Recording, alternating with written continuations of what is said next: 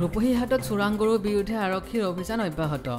ৰূপহীহাটত তিনিআলিত আৰক্ষীয়ে এক গোপন সূত্ৰৰ পম খেদি চলাইছিল অভিযান। আৰক্ষীৰ এই অভিযানত জব্দ পঞ্চল্লিছটাকৈ চোৰাং গৰু।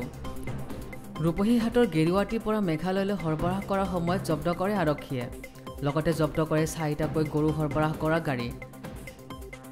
সৰবৰাহকাৰীৰ কেইজন হ'ল ক্ৰমে চিৰাজুল ইছলাম ৰুফুল আমিন জয়নাল আবদিন ৱহিদুল ইছলাম আৰু আছাদুল হক।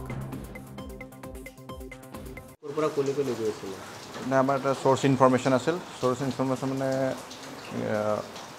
গেৰুৱাটী যিটো খাটোৱাল থানা তাতে দুখন গাড়ীত গৰু চোৰাংভাৱে আনি লোড কৰিছে আৰু এইবিলাক মেঘালয় বৰ্ণিঘাটৰ ফালে নিয়াৰ বুলি যোজা চলাইছিল। সেই হিচাপে মোৰ মোৰ ষ্টাফ আমাৰ থানাৰ গোটেইখিনি ষ্টাফে আমি আমি নাকা চেকিং লওঁ ৰূপহী তিনিআলিতে। ঠিক তিনিটামান বজাত আমি প্ৰথম এখন গাড়ী পাওঁ ট্ৰাক আমি যেতিয়া আমি তালাচী কৰোঁ হয় তাতে গৰু আছে। গৰুবিলাক যথেষ্ট কষ্ট কৰি আনিছে তেওঁলোকে বান্ধি ৰছীৰে আনিছে। তাৰ নেক্সট আৰু এখন গাড়ী পাওঁ সেইখিনি আমি কৰায়ত্ব কৰোঁ।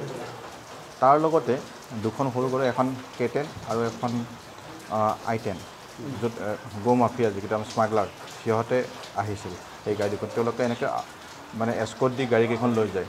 অৰ্থাৎ ই বেপাৰী হয় আৰু এওঁলোকে দীৰ্ঘদিন ধৰি এই যিটো গৰু চিণ্ডিকেট চলাইছিল। আমি টোটেল পাঁচজন মানুহ গ্ৰেপ্তাৰ কৰিবলৈ সক্ষম হৈছোঁ আৰু চাৰিখন গাড়ী আমি জব্দ কৰিছোঁ। টোটেল আমি পঞ্চল্লিছটা গৰু চিজ কৰিছোঁ আৰু এইখিনি আমি গছলাত এতিয়া থৈ অহা হৈছে।